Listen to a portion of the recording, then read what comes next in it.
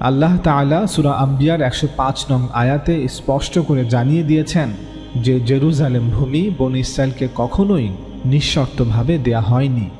তিনি বলেন, মুসাকে তাওরাত দেওয়ার পর আমি দাউদের উপর নাজিলকৃত জাবুরে লিখে দিয়েছিলাম যে আমার সৎকর্মপরায়ণ বান্দাগণই এই ভূমির, অর্থাৎ এই পবিত্র ভূমির উত্তরাধিকার লাভ করবে।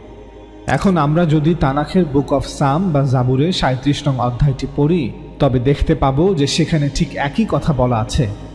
আল্লাহ তাআলা জাবুরে বলেন, যারা সাহায্যের জন্য প্রভুর কাছে প্রার্থনা করবে, তারা প্রভুর প্রতিশ্রুত ভূমি পাবে। বিনয়ী লোকেরা প্রভুর প্রতিশ্রুত ভূমি পাবে এবং তারা শান্তি ভোগ করবে। সৎ লোকেরা প্রভুর প্রতিশ্রুত রাজ্য পাবে। সেখানে তারা চিরদিন বাস করবে। অতএব জাবুর থেকে এটা পরিষ্কার যে জেরুজালেম ভূমি বন ইসরায়েলকে কখনোই নিঃশর্তভাবে দেয়া হয়নি। আল্লাহর দেয়া শর্তকে অমান্য করার কারণে মুসা আলাইহি সালামের সময়কাল থেকেই বনি ইসরায়েলকে বারবার শাস্তি দেওয়া হয়েছিল এবং তাদের পবিত্র ভূমিতে প্রবেশ নিষিদ্ধ করা হয়েছিল। বাইবেলের ওল্ড টেস্টামেন্ট বা তানাখের বুক অফ নাম্বারস বা গণনা পুস্তকের চোদ্দ নং অধ্যায় বলা হয়েছে মিশর ত্যাগের পর সেই রাত্রে সমস্ত লোকেরা শিবিরের মধ্যে প্রবল চিৎকার শুরু করল এবং কান্নাকাটিও করল। ইসরায়েলের লোকেরা মুসা ও হারুনের বিরুদ্ধে অভিযোগ করতে লাগল। সমস্ত মানুষ এক জায়গায় একত্রিত হয়ে মুসা ও হারুনকে বলল, আমাদের মিশরে অথবা মরুভূমিতে মরে যাওয়া উচিত ছিল। এই নতুন দেশে এসে হত হওয়ার থেকে সেটাই বরং ভালো ছিল। যুদ্ধে হত হওয়ার জন্যেই কি প্রভু আমাদের এই নতুন দেশে নিয়ে এলেন? শত্রুরা আমাদের হত্যা করবে এবং আমাদের স্ত্রী ও সন্তানদের নিয়ে যাবে। মিশরে ফিরে যাওয়াই কি আমাদের পক্ষে ভালো নয়? তখন লোকেরা নিজেদের মধ্যে আলোচনা করে বলল, এখন আমরা একজন নতুন নেতাকে নির্বাচন করব এবং মিশরে ফিরে যাব।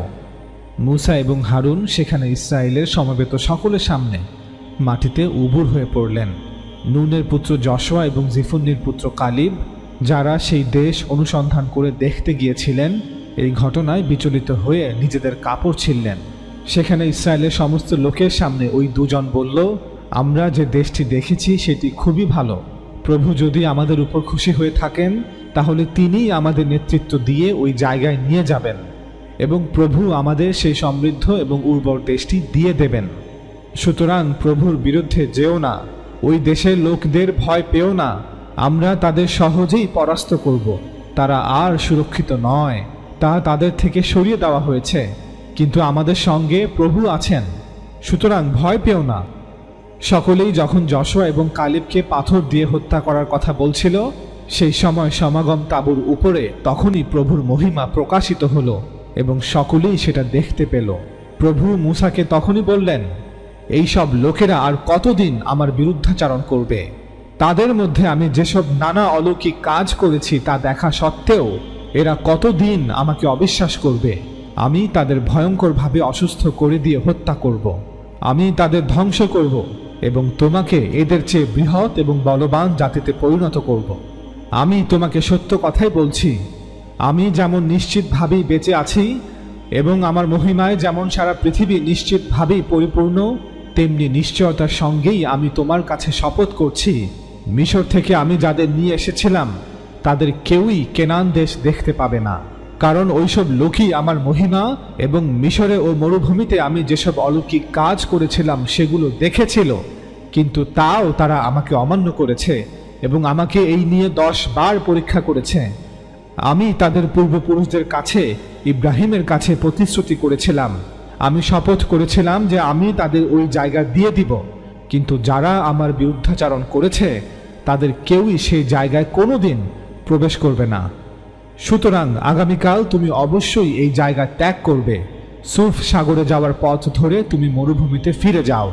প্রভু মুসা এবং হারুনকে বললেন, এই সব দুষ্ট লোকেরা আর কতদিন ধরে আমার বিরুদ্ধে অভিযোগ করবে? আমি তাদের অভিযোগ অসন্তোষ শুনেছি। সুতরাং তাদের বলে দাও, তোমরা যেসব ব্যাপারে অভিযোগ করেছিলে, প্রভু নিশ্চিতভাবেই তোমাদের সেই সব অভিযোগগুলোর ব্যাপারে ব্যবস্থা নেবেন। তোমাদের যা হবে তা হলো এই মরুভূমিতেই তোমরা মারা যাবে। বিশ বছর অথবা তার বেশি বয়স্ক প্রত্যেক ব্যক্তি, যারা প্রত্যেকে আমার লোকদের একজন বলে গণ্য ছিল, তারা মারা যাবে। কারণ তোমরা আমার বিরুদ্ধে, অর্থাৎ প্রভুর বিরুদ্ধে, অভিযোগ করেছিলে। সুতরাং যে দেশ আমি তোমাদের দেব বলে প্রতিজ্ঞা করেছিলাম, সেখানে তোমাদের কেউই কোনোদিন প্রবেশ করতে এবং বাস করতে পারবে না। কেবলমাত্র জিফুন্নির পুত্র কালিব এবং নুনের পুত্র যশোয়া সে দেশে প্রবেশ করতে পারবে। তোমরা ভয় পেয়েছিলে এবং অভিযোগ করেছিলে যে নতুন দেশে তোমাদের শত্রুরা তোমাদের কাছ থেকে তোমাদের সন্তানদের ছিনিয়ে নিয়ে যাবে। কিন্তু আমি বলছি, তোমরা যা গ্রহণ করতে অস্বীকার করেছ, তারা সেই জিনিসগুলোকেই উপভোগ করবে। কিন্তু তোমরা এই মরুভূমিতেই মারা যাবে। তোমাদের সন্তানরা চল্লিশ বছর ধরে মরুভূমিতে মেষ পালক হয়ে থাকবে। তোমাদের অবিশ্বাসের জন্য তারাও শাস্তি ভোগ করবে। তারা অবশ্যই এই কষ্ট ভোগ করবে যতক্ষণ পর্যন্ত না তোমরা সবাই মরুভূমিতে মারা যাচ্ছ। তোমরা সকলে চল্লিশ বছর ধরে তোমাদের পাপের জন্য শাস্তি ভোগ করবে। তখন তোমরা বুঝতে পারবে আমি তোমাদের বিরুদ্ধে গেলে কি হতে পারে। আমি প্রভু এবং আমি শপথ করছি, এই মন্দ লোকেরা যারা একত্রে আমার বিরুদ্ধাচারণ করেছে, তাদের বিরুদ্ধে আমি এই কাজগুলো করব। তারা সকলেই এই মরুভূমিতে মারা যাবে। একইভাবে মূল তাওরাত, যা তাওরাতের শেষ পুস্তক, অর্থাৎ বুক অফ ডিউটোরোনমি বা দ্বিতীয় বিবরণ পুস্তকের আঠাইশ নং অধ্যায়ে মুসা আলহিসাল্লাম তার কমকে বারবার এই শর্তগুলো মনে করিয়ে দিয়ে বলেছেন, আমি আজ তোমাদের যে সকল আদেশ করছি, তোমরা যদি প্রভু তোমাদের ঈশ্বরের সেই সব আজ্ঞা যত্নের সাথে পালন করো, তবে প্রভু তোমার ঈশ্বর পৃথিবীর সমস্ত জাতির উপরে তোমাদের উন্নত করবেন।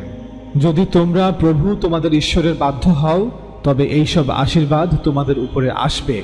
প্রভু তোমাদের নগরে এবং তোমাদের খেতে আশীর্বাদ করবেন। প্রভু তোমাদের গর্ভের ফল আশীর্বাদযুক্ত করবেন। তিনি তোমাদের জমিকে আশীর্বাদ করবেন যাতে ভালো ফসল হয়।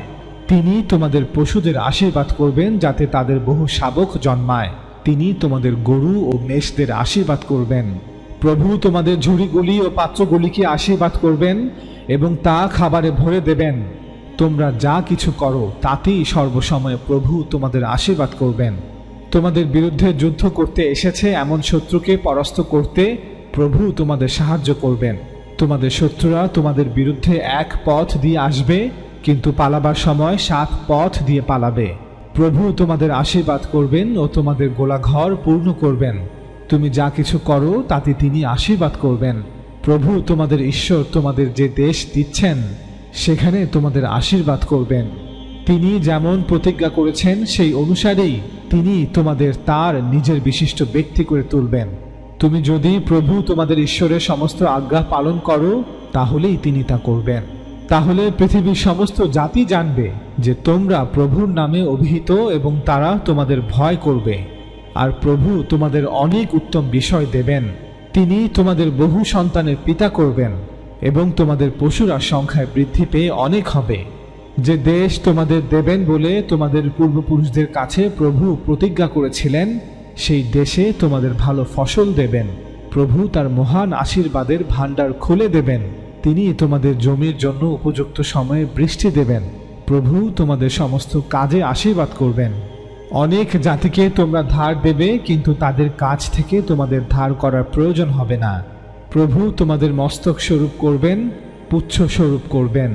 তোমরা অবনত না হয়ে উন্নত হবে। এই সমস্তই ঘটবে। যদি প্রভু তোমাদের ঈশ্বরের যেসব আদেশ আমি আজ বলছি, তা তোমরা শোনো এবং যত্ন সহকারে এসব আদেশ পালন করো। আজ আমি তোমাদের যেসব আজ্ঞা দিচ্ছি, তার থেকে দূরে সরে যেও না।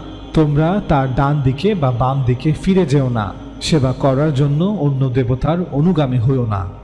কিন্তু প্রভু, তোমাদের ঈশ্বরের কথা যদি না শোনো, আমার আজকের বলা সেই সব আদেশ যত্ন সহকারে পালন না করো, তবে এই সমস্ত অভিশাপ তোমার প্রতি বর্তাবে। প্রভু, তোমাদের নগরে এবং খেতে সাপ দেবেন, প্রভু, তোমাদের ঝুড়ি ও পাত্র সাপ গ্রস্ত করবেন, এবং তোমাদের মধ্যে কোনো খাদ্য থাকবে না।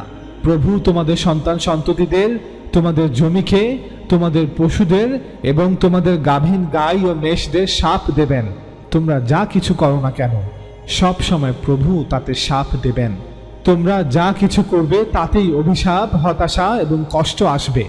তোমরা দ্রুত সম্পূর্ণরূপে বিনাশ না হওয়া পর্যন্ত তিনি এসব করেই চলবেন। তিনি এসব করবেন কারণ তোমরা যা মন্দ তাই করো এবং তাকে প্রভুকে পরিত্যাগ করেছ।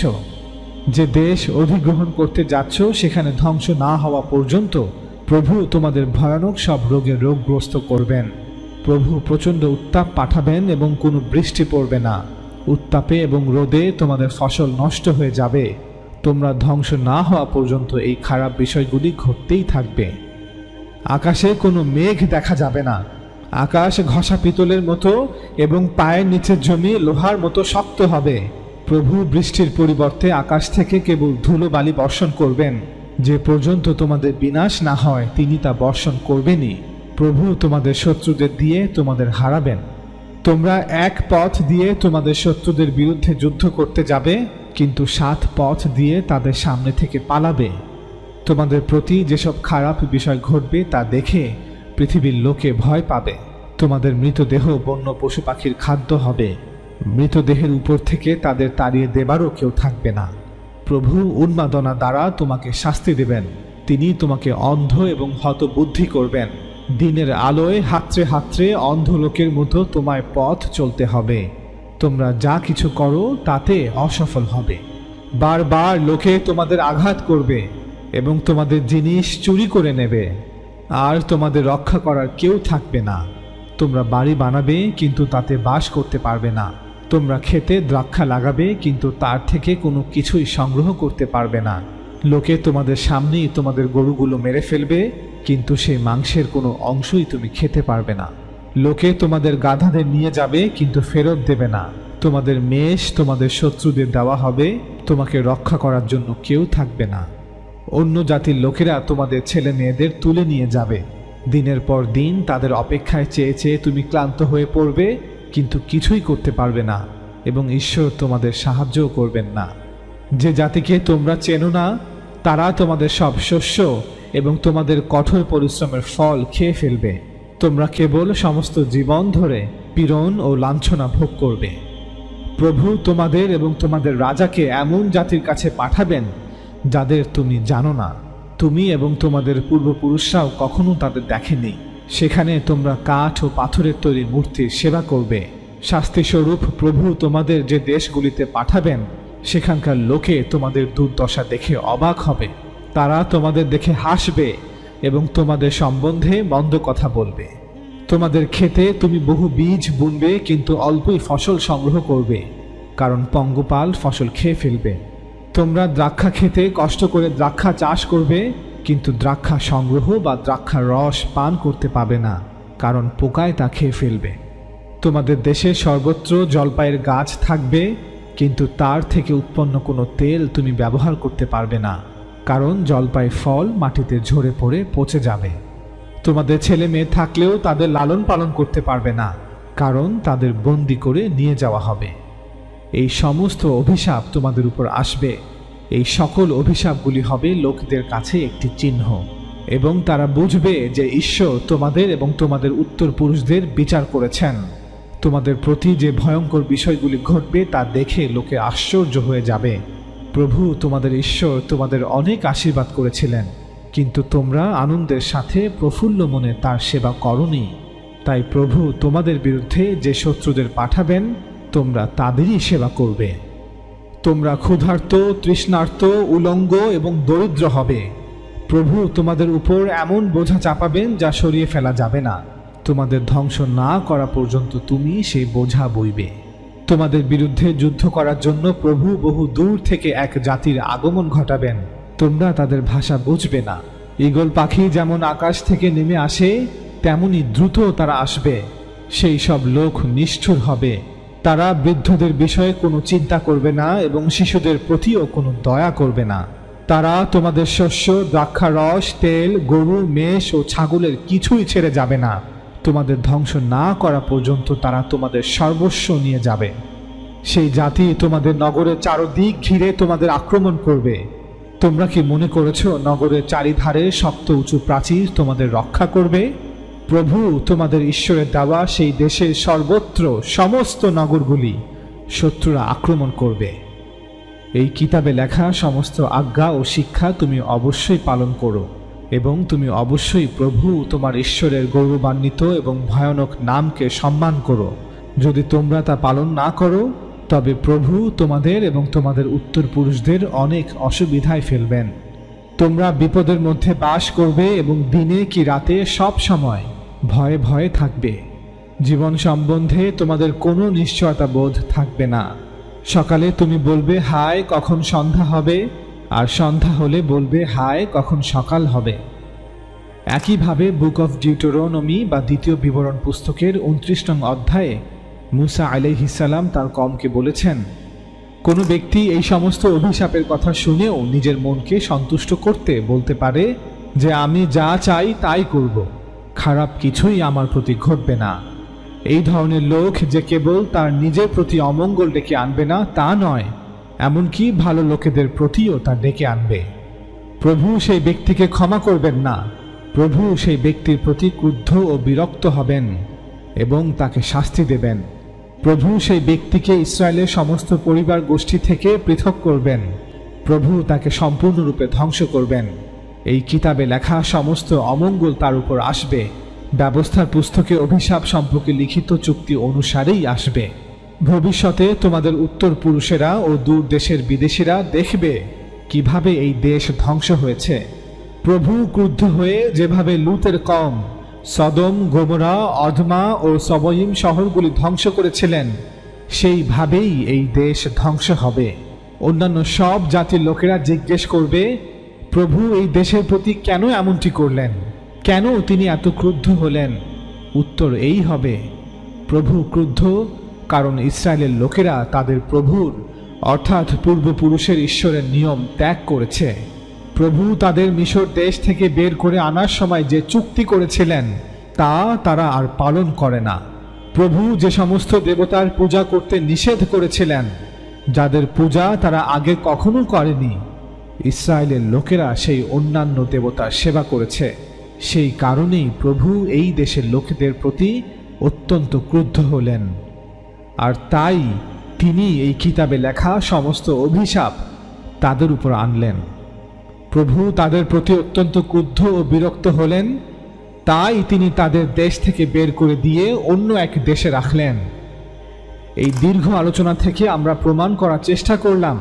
যে আল্লাহ তালা তাওরাত এবং জাবুরের মাধ্যমে বনি ইসরায়েলকে বারবার সতর্ক করেছেন, যেন তারা আল্লাহ তালার সাথে করা ওয়াদাকে, তার সাথে করা চুক্তিকে ভঙ্গ না করে।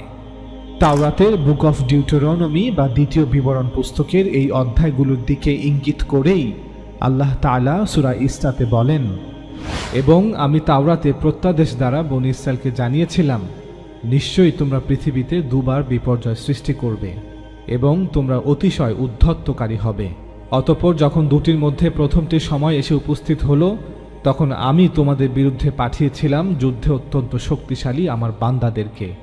অতপর তারা ঘরে ঘরে প্রবেশ করে ধ্বংসযজ্ঞ চালিয়েছিল, আর এটা ছিল এমন প্রতিশ্রুতি যা কার্যকর হওয়ারই ছিল। তারপর আমি তাদের বিরুদ্ধে তোমাদের জন্য পালা ঘুরিয়েছিলাম। ধন সম্পদ ও সন্তান সন্ততি দিয়ে তোমাদেরকে মদত করলাম। এবং জনবলে তোমাদেরকে সংখ্যাধিককে পরিণত করলাম। তোমরা যদি ভালো করো, তবে নিজেদের জন্যই ভালো করবে, এবং যদি মন্দ করো, তবে তা নিজেদের জন্যই। তারপর পরবর্তী নির্ধারিত সময় উপস্থিত হলে আমি আমার অন্য বান্দাদের পাঠালাম, যাতে তারা তোমাদের চেহারাসমূহ মলিন করে দেয়, আর যেন মসজিদে ঢুকে পড়ে যেমন ঢুকে পড়েছিল প্রথমবার, এবং যাতে সম্পূর্ণরূপে ধ্বংস করে দেয় যা ওদের কর্তৃত্বে ছিল। এরপরও হয়তো তোমাদের প্রতিপালক তোমাদের প্রতি দয়া করবেন। কিন্তু যদি তোমরা তোমাদের পূর্বকৃত পাপের পুনরাবৃত্তি করো, তবে আমিও পূর্বে দেয়া শাস্তির পুনরাবৃত্তি করব। ইমান প্রত্যাখ্যানকারীদের জন্য আমি জাহান নামকে কারাগার বানিয়ে রেখেছি। সুরা ইসরা, আয়াত চার থেকে আট। উক্ত আয়াতে উল্লিখিত দ্বিতীয় নির্ধারিত সময়টি ছিল যখন বনি ইসরায়েল ঈসা আলহিসাল্লামের নবুয়াতকে অস্বীকার করে। এবং পরবর্তীতে রোমান বাহিনীর আক্রমণের শিকার হয়। তবে আমরা এই ভিডিওতে প্রথম নির্ধারিত সময় এবং সে সময়ে ঘটে যাওয়া ঘটনাগুলো নিয়ে আলোচনা করব।